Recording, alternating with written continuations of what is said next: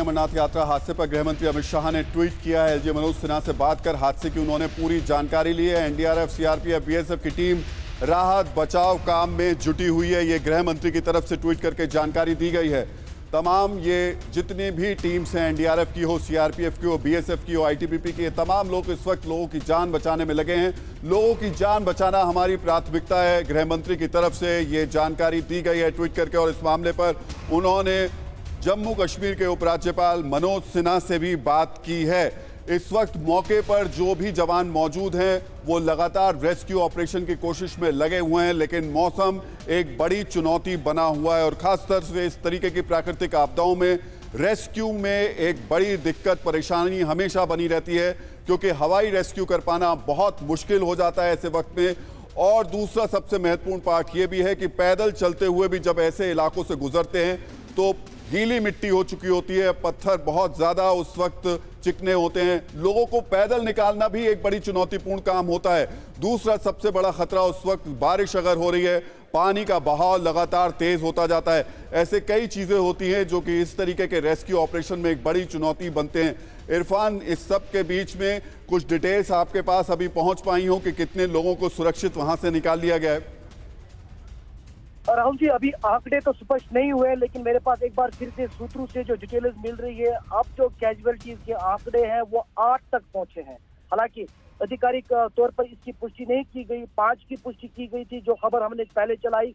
अब मेरे पास जो जानकारी आ रही है, ये आंकड़े जो है, आठ तक पहुँचे हैं। तो ये आंकड़े बढ़ भी सकते हैं, क्योंकि जिस तरह का वहाँ पर क्लाउड ब्रस्ट हुआ है, और एक बड़ा इलाका इसने वाइट जंक्शन से लेकर नीचे जहाँ पर टेंट्स और लंगर लगे थे, वो पूरा इलाका अपनी जद में लिया है। कई लोग मिसिंग है, क्योंकि मिसिंग लोगों के हालाँकि अभी फिगर्स नहीं आए हैं, क्योंकि ऑफिशियल वहाँ पर पहली जो उनकी वहाँ पर प्रायोरिटी है, वो है लोगों को इवैक्यूएट करना। और जो जो डिटेल्स आ रही हम अपने दर्शकों को दे रहे हैं। पाँच लोगों की मौत की आधिकारिक रूप पर पुष्टि की गई है। टीवी नाइन बात को आठ लोगों की मौत की जानकारी मिल रही है। और पच्चीस टैंक्स और तीन लंगर से इसकी जद में आए हैं। कई लोगों को एयरलिफ्ट वहाँ पर किया जा रहा है उसकी प्रक्रिया शुरू की गई है। मौसम की चुनौतियाँ एयरलिफ्ट के लिए हो सकती है, हालाँकि बारिश फ़िलहाल रुकी हुई है, ये राहत की बात है। दूसरी तरफ़ एनडीआरएफ के जवान और उस तरफ़ और इस तरफ़, यानी दोनों तरफ़, जहाँ पर इस क्लाउड बर्फ़ की वजह से रास्ता कटा है, मौजूद है, और वहाँ पर रेस्क्यू ऑपरेशन बड़े पैमाने पर जारी है। पुलिस की नफरी भी वहाँ पर तैनात कर दी गई है। लोगों को वहाँ पर राहत दी जा रही है। सेफर लोकेशन पर लिया जा रहा है। कई लोगों को बेस कैंप यानी बालतल की ओर, और कई लोगों को जो चंदनवाड़ी से होते हुए गुफा की ओर जा रहे थे या रास्ते में थे, उन्हें भी अब फ़िलहाल रोक दिया गया है और उन्हें भी सुरक्षित स्थानों पर जाने के लिए प्रक्रिया शुरू की गई है। क्योंकि आपको मैं बता दूँ, बेस कैंप और जो गुफा है काफ़ी तेज बारिश हो रही थी, काफ़ी देर से। और वहाँ पर पहाड़ के बगल में जो गुफा है, उसी के ऊपर से अचानक से तेज पानी आने लगा और नाले का बहुत धीरे धीरे तेज होने लगा। जो हमारे सिस्टर एजेंसीज हैं आईटीबीपी है, बाकी सारी एजेंसीज हमने तुरंत अलर्ट किया। पिछले साल भी वहाँ पर एक ऐसी घटना हुई थी, जिसमें काफ़ी क्लाउड बस्ट के बाद तबाही जैसी स्थिति पैदा हुई थी। तो इस बार पहले से हम लोग अलर्ट थे, चूँकि इलाका काफ़ी नैरो है। तो वहाँ नीचे की तरफ़ कुछ टेंट भी लगे हुए थे, जिसमें कि कुछ हमारे बलों के भी टेंट थे और उसमें कुछ श्रद्धालु भी थे। तो उनको वार्न किया गया, उनको अलर्ट किया गया और within ten to fifteen minutes काफ़ी लोगों को वहाँ से निकाला गया जिससे काफ़ी लोगों को हम बचा सके हैं, वहाँ पे निकाल सके हैं। काफ़ी सारे टेंट बह गए हैं, एग्जैक्ट नंबर मेरे पास अभी नहीं है, लेकिन तुरंत ही हमारी जो फोर्सेस थी, उन्होंने अपना रेस्क्यू ऑपरेशन शुरू कर दिया था। आईटीबीपी की दो कंपनियाँ और साथ ही साथ बाकी सारी जो हमारी फोर्सेस हैं, उसमें एनडीआरएफ है इंडियन आर्मी है जम्मू कश्मीर पुलिस है। उनके साथ लगातार हम लोग कोऑर्डिनेशन में काम कर रहे हैं और अभी फ़िलहाल स्थिति यह है कि बारिश थोड़ी कम हो गई है पहले से। पानी का प्रवाह लेकिन अभी उतना ही है। कुछ पुष्टि नहीं हुई है, लेकिन फ़िलहाल हम ये देख पा रहे हैं, कुछ लोगों को नदी से निकाला गया है बहते हुए। डाउनस्ट्रीम में भी चेक कर रहे हैं। और कोशिश ये है कि ज़्यादा से ज़्यादा लोगों को बचाया जा सके। सर अभी वेदर का वहाँ क्या अपडेट है? और रेस्क्यू ऑपरेशन में क्या कोई दिक्कतें आ रही हैं वेदर की वजह से? और क्या यात्रा को लेकर अभी कुछ हॉल्ट किया गया है? देखिए यात्रा को इसलिए रोकना पड़ा है थोड़े समय के लिए कि तो अंधेरा भी हो गया है शाम को ऐसे भी यात्रा रोकनी होती है। लेकिन वो जो इलाका है उसमें पावनी बढ़ जाने की वजह से कई जगह पर ऐसा हुआ है कि खतरा जैसा स्थिति है।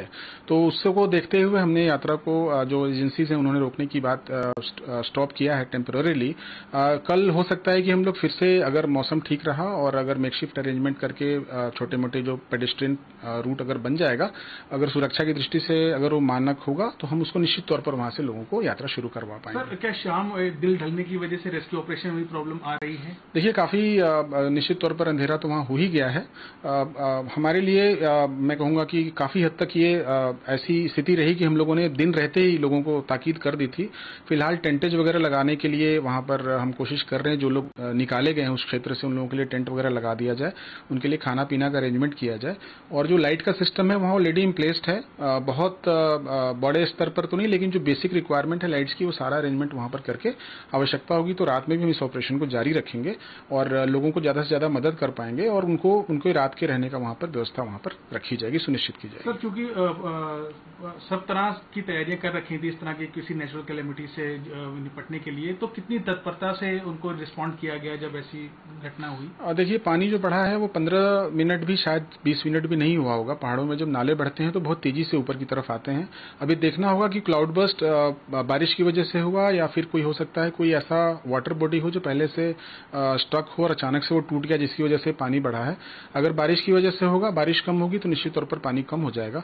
और नहीं होगा तो फिर स्थितियाँ ऐसी होंगी कि लंबा चला, चलाना पड़ सकता है, लोगों को रोकना पड़ सकता है। लेकिन इस जो पूरा क्षेत्र है, इस एरिया को अगर आप देखें तो पहले भी यहाँ पर आ चुका है और एजेंसीज काफ़ी सतर्क थी निश्चित तौर पर सतर्क थी और यही वजह रहा है कि बहुत बड़ा मैं समझूँगा बहुत लोगों का हो सकता है अगर हम नहीं ध्यान देते और इस पर अगर हम लोग पहले से फोकस नहीं रहते तो और भी नुकसान हो सकता था जिसे निश्चित तौर पर प्रिवेंट किया जा सका है। सर कुछ ऐसी भी रिपोर्ट्स आ रही है काफ़ी लोगों की कुछ लोगों की डेथ होने की है। तो सर इसमें क्या सुरक्षा बल के लोग भी हैं या सिर्फ़ श्रद्धालु हैं? जहाँ तक मुझे जानकारी है सुरक्षा बलों का अभी तक कोई कैजुअलिटी नहीं है। और ये देखना पड़ेगा। बहने के बाद लोगों को निकाला गया कुछ लोगों को। ये, क्योंकि वहाँ पर स्थानीय कर्मचारी भी होते हैं।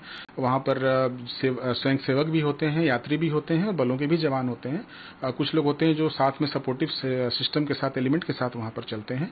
तो जो वहाँ प्रशासन है निश्चित तौर पर इस पर काम कर रहा है और बहुत जल्दी ये क्लियर हो जाएगा कि वो कौन लोग हैं जिनको वहाँ पर निकाला गया सर के आसपास के क्षेत्रों से भी कोई आपदा सुरक्षा बल कोई वहाँ भेजा गया है? आ, नहीं वहाँ पर ऑलरेडी काफ़ी कुछ अरेंजमेंट है और इस बार बहुत ही तगड़े इंतज़ाम वहाँ पर है। निश्चित तौर पर यही कारण है मैंने जैसा बताया कि बहुत ज़्यादा कैजुअलिटीज उस ढंग से नहीं हुई हैं। अचानक से पानी बढ़ा और बहुत जल्दी रिस्पॉन्ड किया गया है। तो मैं कहूँगा कि बहुत ही बहुत ही सिंक्रोनाइज मैनर में वहाँ पर रिस्पॉन्स किया गया, जिसकी वजह से हम कैजुअलिटीज को बिल्कुल ही प्रिवेंट कर पाए।